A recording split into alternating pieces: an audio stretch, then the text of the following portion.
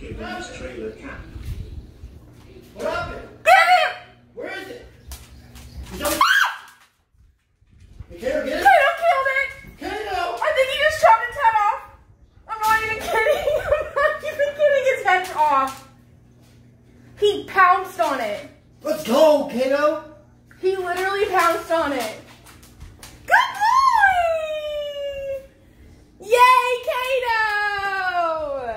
Let's go, man! He actually wait. Go in on the bug and see if it's dead. I'm scared. Kato, he's a carrot.